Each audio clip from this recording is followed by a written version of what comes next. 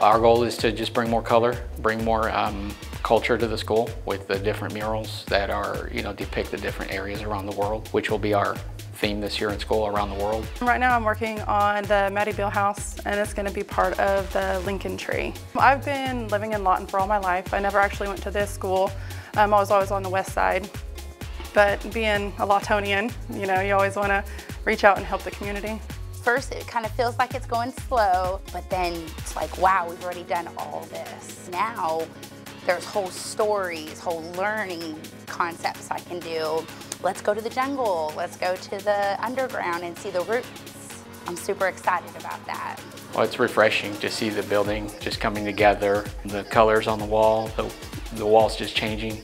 So the space that we have in here now. I just want to thank all the volunteers that are coming and giving up their time to help our school. And this one is like um, really special to me because you get to, you know, show the kids that, hey, we're here for you.